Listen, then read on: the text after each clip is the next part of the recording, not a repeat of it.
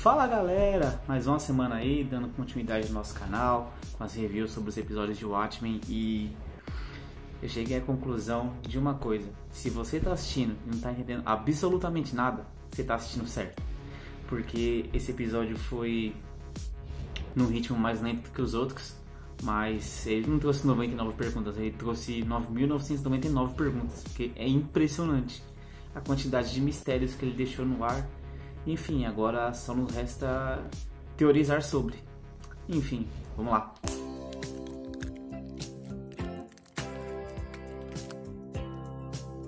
A blusa da TC ficou maneira, né, mano?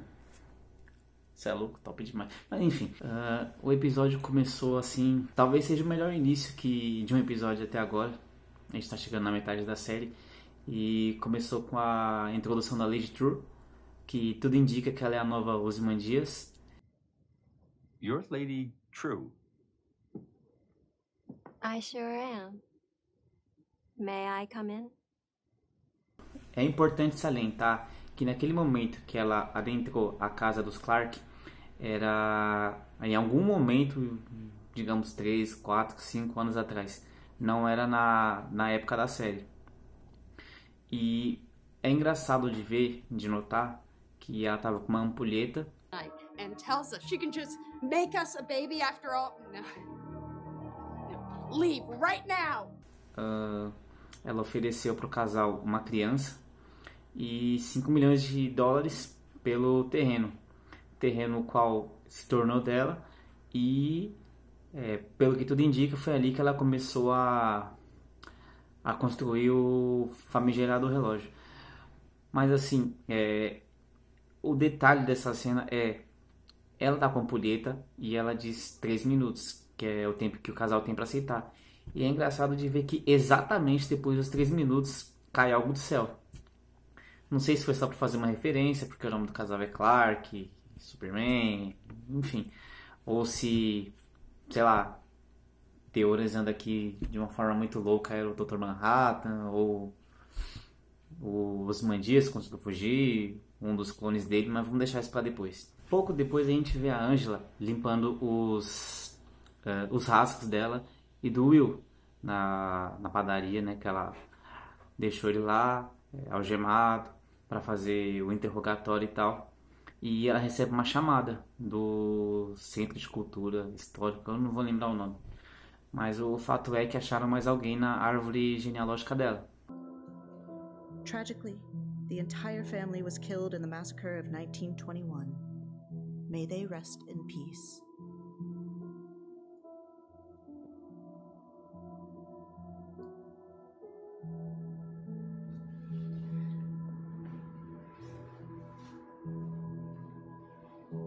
You're not dead.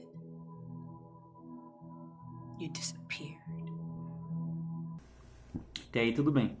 Uh, é, mas essa cena foi muito legal, que serviu para ela ir lá né, no museu tal achou mais informações sobre os parentes dela, sobre o Will, mas foi só para é, relacionar essa cena, relacionar esse episódio com a cena final do episódio passado, com o carro caindo do céu, que é o carro da Angela, e a Blake tá lá, caindo de dar risada.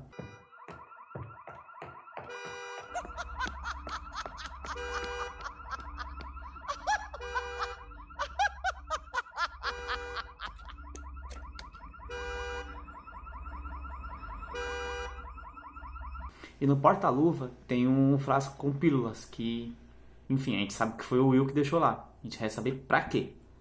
Até aí, ok. Tá confuso, tá? Mas não, não tinha nada demais. Fato é que a Sister Knight, ela vai procurar o espelho, o Looking Glass.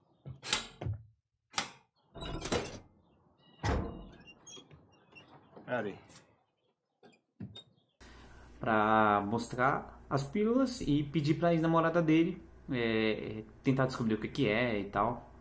E ela joga para ele o traje da Ku Klux Klan. You reckon he was cavalry? You reckon he was? Looks like we have ourselves a reckoning.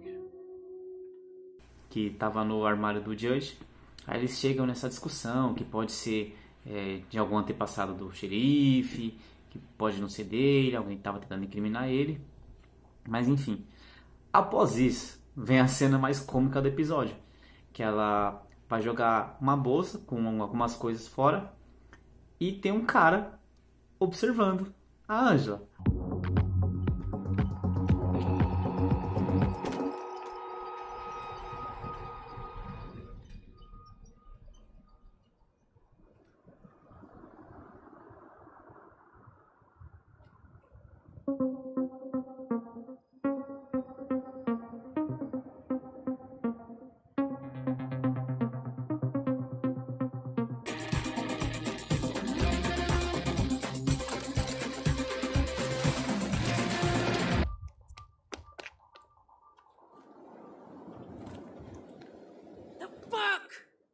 Um cara que tá todo prateado, é o Fred Mercury da Deep Web, é, sei lá que diabo é aquilo. É, eu, como é que é? Eu li em algum lugar Homem Vaselina, enfim. Ele foge da, da Angela, sai correndo, joga vaselina nele e escorrega para um bueiro. Eu não sei se descendo lá ele encontra o It, a Tartaruga Ninja, mas enfim. É, fisicamente, como ele é bem magro, né? Ele parece o, o carinha do FBI que tá com a Blake. Acho que é Peter.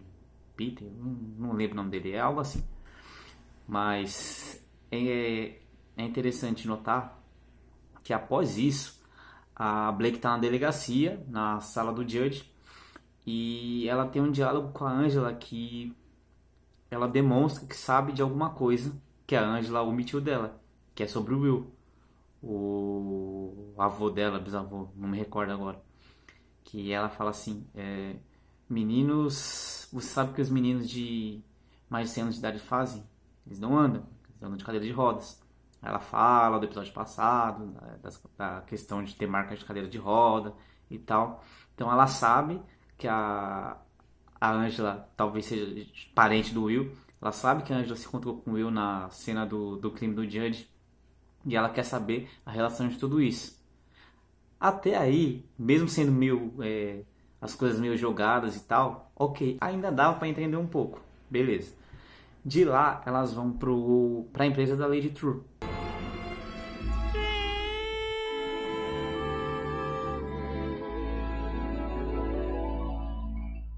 De cara, elas encontram com a filha da Lady True. Acho que é Bea, Bia, Mia, enfim. Já dá para notar que talvez ela não seja humana, talvez já seja um clone também, mas vamos deixar isso pro final. A, tanto a Blake quanto a, a, quanto a Angela, elas foram lá porque ficou uma desconfiança sobre a, as máquinas, as naves é, feitas pela empresa da, da Lady True, que uma delas teria feito o roubo do carro. Give or take. So it's possible to say fly one out of here and mm-hmm, pick up a car in downtown Greenwood. Why would we do that? Que, que estava o Will, que obviamente foi o que aconteceu, mas a Legislatura negou. Uh, e no meio dessa cena tem um, um diálogo em vietnamita que é muito legal de se ver que a Lichtur fala que tem um ditado tal e fala em vietnamita. And please accept my condolences on the passing of your chief. We never met personally, but I hear he was a great man. Thanks. There's an expression about grief I remember from when I was little. Ông nội chị muốn biết nhận được thuốc chưa? I remember one from when I was little too. Độ má mày Kiểu ông mắc gì Lại hối tao I haven't heard that one. It's quite beautiful. E a Angela responde no mesmo idioma que a Liz fala assim que o, o Will quer saber se ela pegou os remédios e tal. Aí a, a Angela fala assim, ah, se esse velho quiser saber, eu não tô nem aí pra ele manda ele vir buscar, algo assim. E, mas eu, eu acho que ninguém percebeu, porque a Blake, se eu não me engano, ela esteve na guerra do Vietnã. Então, se ela esteve na guerra do Vietnã, ela não é ignorante nesse idioma. Então, talvez ela tenha entendido o que as duas falaram. Até aí, até aí, tudo bem. Mas tem uma estátua do Ozymandias. E ele tá velho. Até a Blake questiona isso. Ah, por que, que você tá com uma estátua dele é, mais velho e tal? E o que, que você deduz? Você deduz que a Lady True foi uma das últimas pessoas, se não a última, que é, ouviu é, antes dele ter esse desaparecimento, antes de ser declarado como morto e tal. E aconteceu uma coisa que faltou nos outros episódios. Realmente a gente notar que o Ozymandias está inserido na trama, ele ser relacionado, linkado, porque ele aparecia de uma hora para outra e sumia na mesma forma, sem ter nada a ver com a trama. E ele apareceu, uh, finalmente, isso foi explicado. Ele está lá, é, seja lá onde for, parece que ele está na Lua, mas ele está lá há quatro anos. E o diálogo inicial dele, falando que as criaturas que estão lá, é, não, não, ele não é o criador delas. Of course you don't. You are flaws in this thoughtless design. For while I may be your master, I am most definitely not your maker. I would never have burdened such pathetic creatures. The gift of life. But to be alive, you have to have purpose, and you have none. Então, sugere que ou é True ou é o Manhattan, porque ele mesmo disse que jamais faria isso, dar vida a umas criaturas dessas que não tem propósito e tal. Mas a cena dele no lago cheio de fetos é. Eu não sei se é.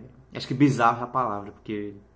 Enfim, mas quem o Atman tá, tá acostumado a esse tipo de coisa. Mas vamos focar no que interessa.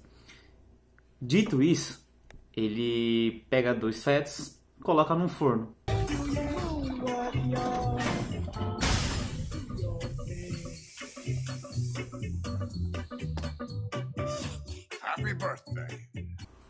Eu tinha certeza que ali não era para matar os fetos, e sim para dar vida. Tanto que passado um pouco tempo, é, já tá lá é, um adulto e uma adulta.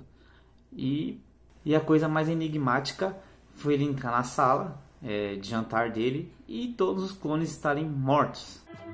Well, I apologize for the mess.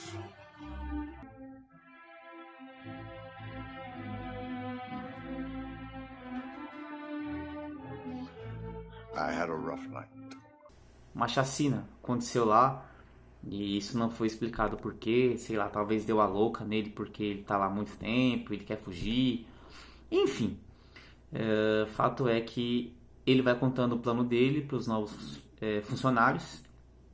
Que ele tá lá há quatro anos, que ele quer fugir, que é um exílio, que ele foi mandado para lá. Então sugere que a Lady True mandou os Imandias para lá. E na cena da, da chacina, né? Uh, você vê lá o pessoal morto e um bolo de aniversário de novo. Então você pensa, porra, de novo, todo dia é aniversário do cara, o que, que, ele tá, que, que ele tá tentando fazer? Mas eu acho que não é todo dia o aniversário dele.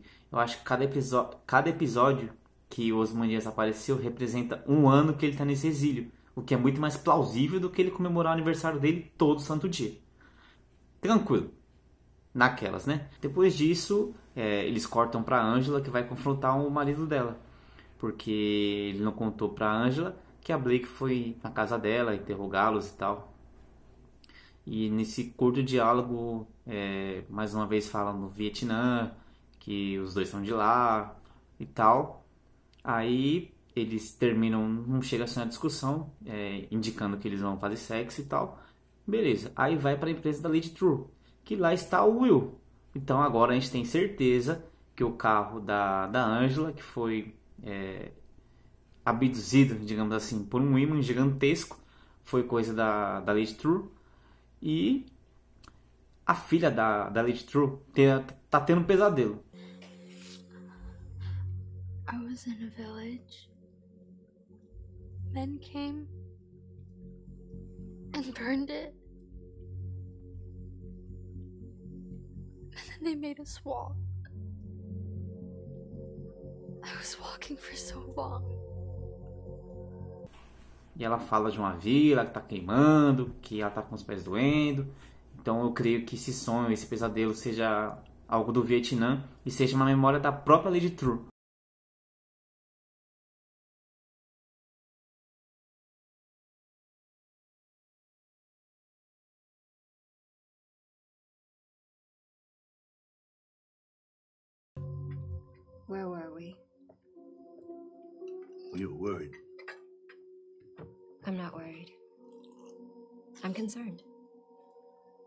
What's the difference?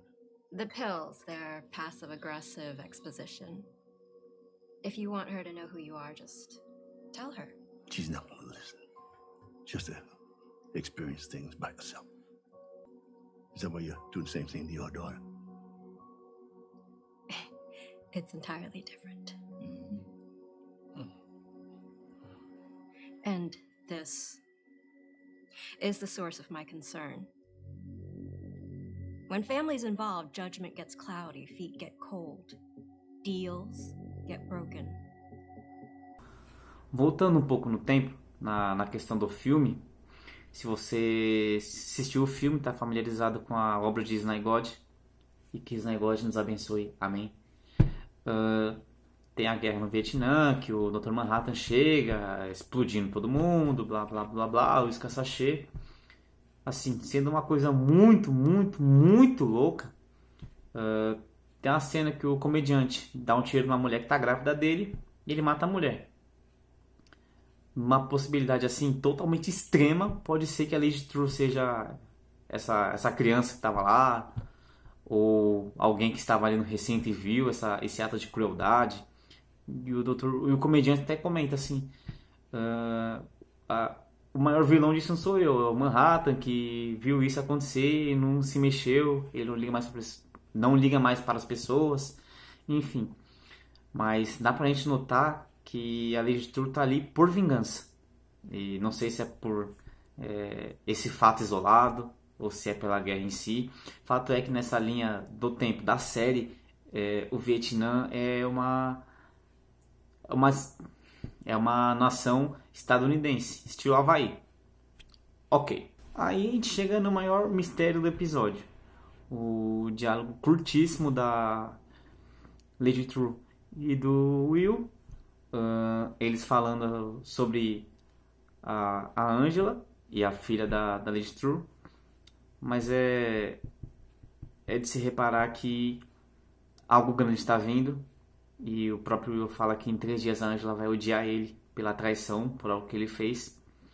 E isso levanta muitas dúvidas, porque o episódio termina com TikTok crescendo, então indica que talvez no início da série, alguém, no início do próximo episódio, alguém vai morrer, ou sei lá, algum genocídio vai acontecer, alguma tragédia.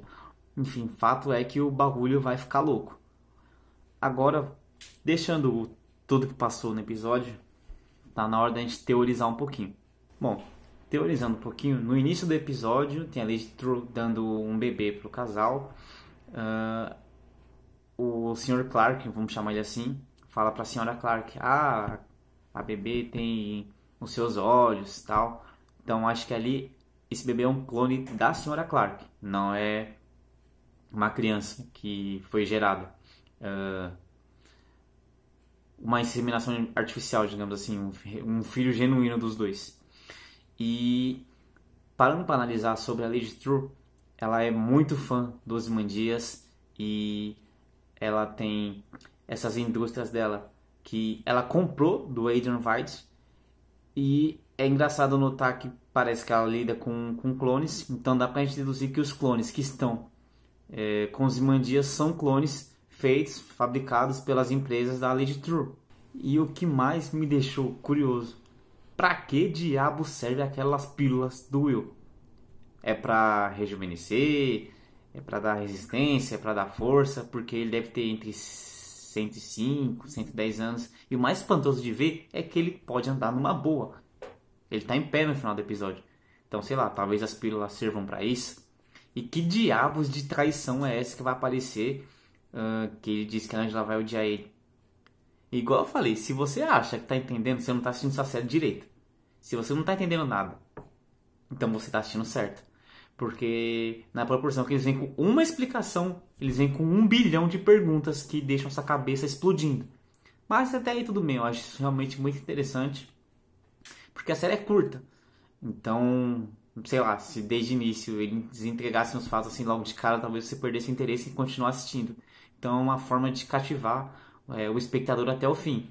Só acho que não precisava bugar tanto a nossa cabeça assim. E puxando um pouquinho mais pro título do episódio, se você não gostou da minha história, faça a sua.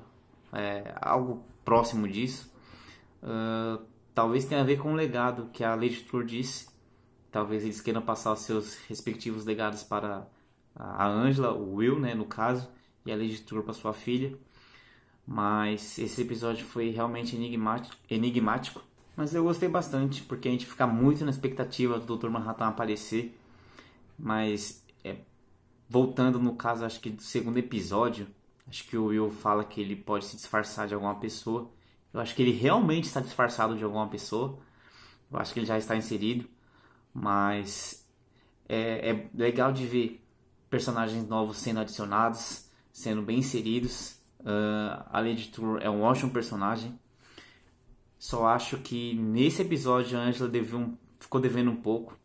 Não é, nem, não é nem por questão de ter pouco foco nela, mas sei lá. Eu acho que empaticamente esse episódio foi o mais fraco dela. Mas eu creio que no próximo ela deve aparecer mais, mostrar um pouquinho do que ela mostrou no primeiro e no segundo episódio. Mas enfim, é isso. Espero que vocês tenham gostado da minha análise, das minhas teorias, de tudo que eu disse. Vão ler HQ. A HQ é muito boa e serve para vocês terem um pouco de noção das coisas que estão acontecendo. É uma coisa que eu acho bem chata, mas não tem como a gente evitar esse tipo de processo. Se inscrevam no nosso canal, dê um like, comente, compartilhe, porque isso ajuda demais a gente. Eu esqueci, um recado importante para dar hoje. Tá vendo aqui? Isso é produzido pela Word Store.